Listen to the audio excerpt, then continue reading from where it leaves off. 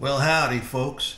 It's Roberto here in uh, America, and I'm trying out my new camera. It's the E500. Uh, I got it on at a thrift store uh, in about July. Jerry, I can't do it. I can't keep it up. G'day, how you going? So taking the old classic um, Olympus E500 with the CCD sensor out again and I thought this time I want to try things in the style, kind of in the style of like that William, what's his name, Egg Eggleston. Now I think you know it's a little bit overrated the stuff that he did, but it's it's kind of like in tune with what I was doing with the industrial estate you know the mundane the boring. That's what he's been known for. I mean if you want to ask me I think all he did was just some rich guy went out with a camera just took photos and somehow ended up in galleries. Uh, I think what it was was uh, he was doing color when no one else was and he had the cash to really process it with some really expensive uh, processing tool and I don't know. I mean, to me, half his shots just look like crap, just like shit around the house. anyway, I'm like, if you can't um, beat him, join him. A lot of the shots that people go, oh wow, that's really cool, is because the subject matter is old. You know, it's like in that set time period. For instance, um, like the 60s and the 70s so, and it goes well with this, but I've got to look for colour, you know, colour's the key, and I want to do something like in the 60s, you know what I mean? I want the subject to be old and kind of like reminiscent of, you know, those photos of Eggleston and a bottle of milk. Remember these? I got a pint of milk. I think they, they used to sell pints, 600 mil they used to deliver them, and I just filled it up with normal milk. You know, they don't make things like they used to. I reckon. I mean, this is a classic. Who would not like to have milk out of that? What they used to do, they used to deliver it to the front door. And actually, my brother, my brother was the milkman once. He used to help the milkman when he was um, like 15. I thought I might do that and place it in. I've got my neighbour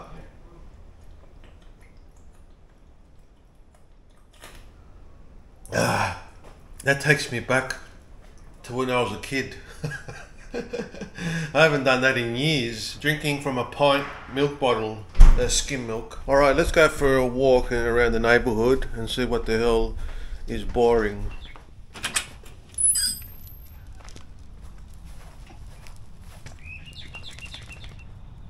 Okay, so I thought I'd put the milk bottle here uh, maybe do letterboxes. Like letterboxes always stay the same. Everything else gets updated, but the letterbox always seems to stay the same.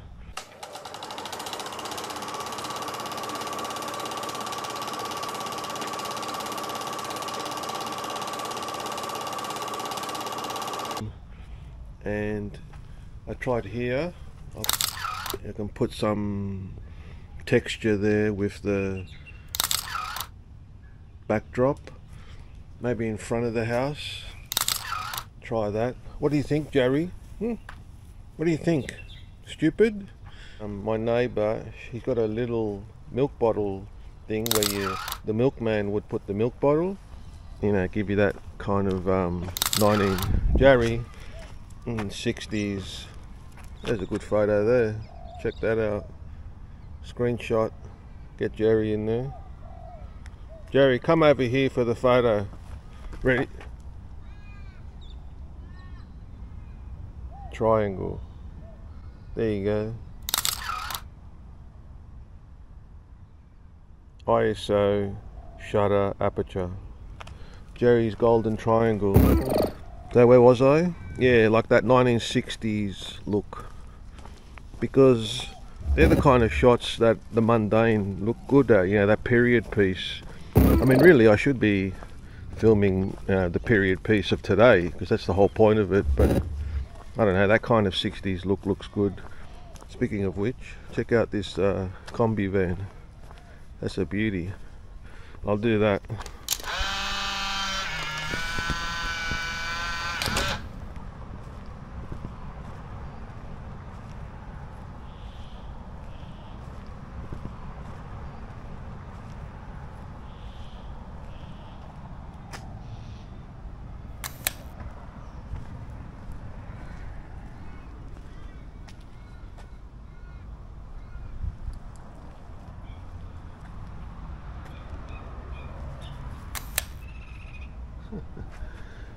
Alright, so I'm filming in HDR on the uh, DJI Action 3.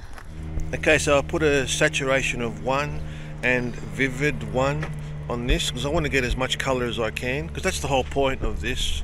You know, the whole point of Eggleston or was his name was to get the color. So, and the CCD sensor, uh, the Kodak CCD sensor is uh, all about color, you know, and that retro kind of, you know, early 90s look, I guess. Photo, film, I don't know.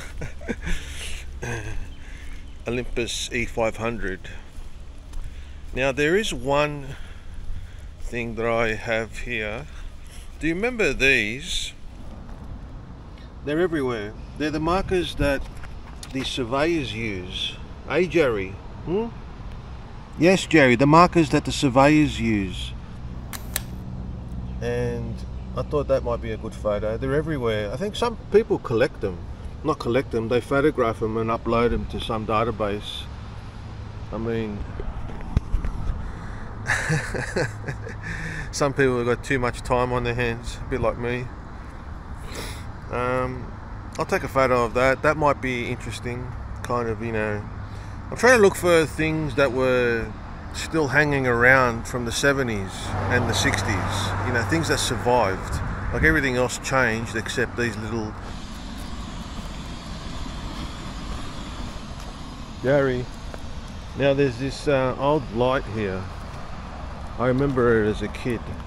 It's even in one of the old videos that we got, I think, of us walking up here and back up there.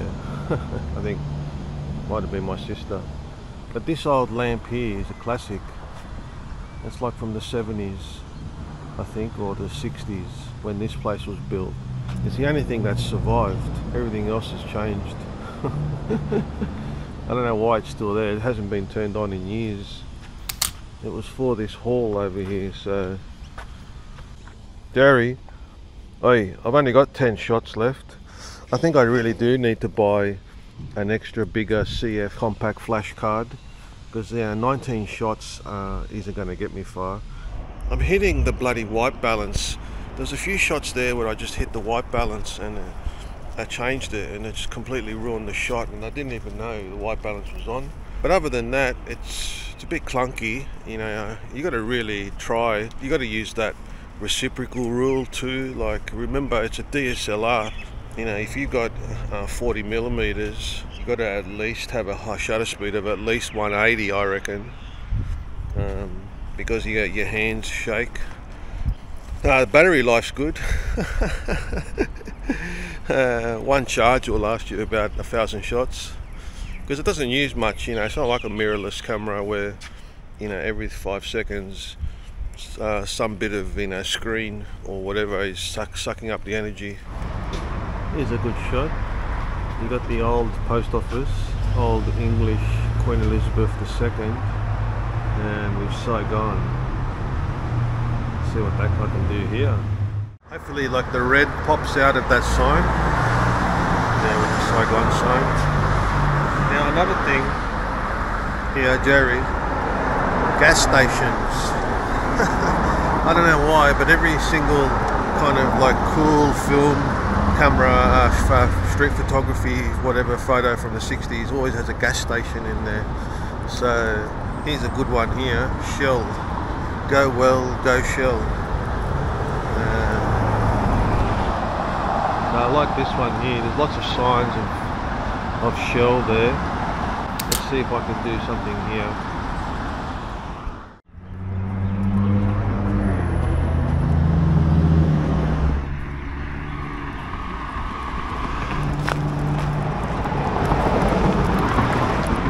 Okay, so I'm finding that that 17.5 to 40 millimeter, 45, whatever it is, it's not the very sharpest of lenses. Um, yeah, I can see why people are telling me get the uh, earlier ones, not not that one. But this um 40 to 150, it's unreal. It's so sharp and it always gets focus. That's one other thing with this is that uh, you really need a lot of light to get the focus working properly. Uh, struggling a lot. I flipped it over to manual autofocus slash manual with the center point. So you try and center in for autofocus. If that doesn't work, then move the manual focus. That kind of works sometimes. My eyes, I can't tell because it's a mirror. I, I rely a lot on autofocus. Maybe I should get glasses. Jerry. Now, don't get me wrong, Jerry. I'm not bagging William Eggleston. Yes, I know, Jerry. I think I'm just as boring as he is. I mean, I can see the appreciation and I can see what he was trying to do, um, which is take photos of every day and I think they called it like a democratic thing, you know. I know art has a bit of snobbery to it. I mean, as you know, like I look at the Jackson Pollock, you know, it's like anyone, you get that defensive because you look at like people like Jackson Pollock and Eggleston and you go, what the hell man, I could do that. I could do that, and I am doing that. Hey Jerry, hmm? using the CCD sensor gives you that little bit of edge, you know, anything that's, you know, you can give a bit of an edge to it uh, rather than just use you know your phone or something. I mean, you can do that as well. There's no rules really. There aren't any rules, eh, Jerry? I can't bag anyone, even William Eggleston, because uh, every photo is a photo, and every and all photos have their merit, you know. So I mean, obviously, you strive for perfection. But like what I said, there's beauty in the mundane, there's beauty in the ugly, uh, I don't know. I haven't really researched too much on why the hell he became famous. I guess it was just all about that color thing, and he was at the right, in the right time, at the right place, whatever. Jerry, yes, I mean, you know, one day maybe uh, my photos of uh, milk bottles will end up in a gallery. Probably not. not bagging him. I'm just saying, you know, there are um, better composition, better photos out there. This is just a different style, you know, just like what I'm trying to do. Like I look at those industrial disease uh, photo, the little project that I'm trying to do, and um, and I even look back at that and think, what the hell, that's crap. But then there's a certain charm to it, you know, the mundane the boring, the uh, color. Color is like a subject too.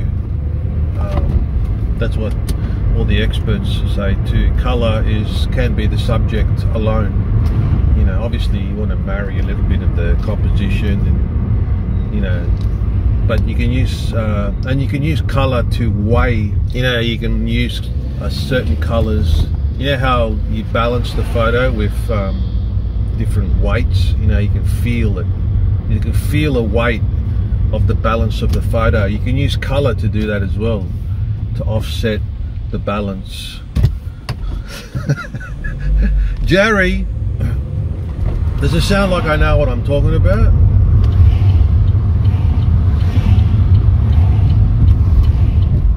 Jerry we're heading on down the road to get ourselves a coffee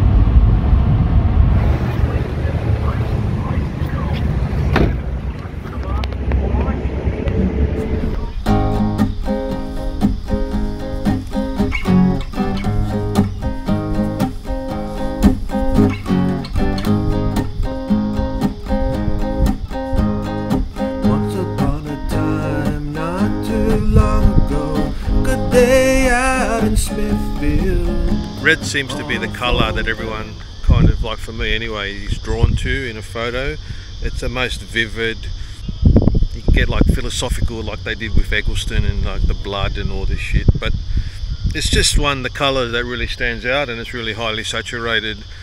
Uh, and it's something that you don't really see a lot, I guess. So when you do see it, and yellow, yeah, I like yellow, especially canary yellow. I really like that canary yellow uh, look. Anyway, taking photos. Now, now, don't get me wrong. I like green too. it's just that there's so much of it around when you're outside. Green. I guess depending where you live. But yeah, it's those colours that stand out the most. But green's good too. You know, nature. Hey, Jerry. Hmm? You cheeky girl.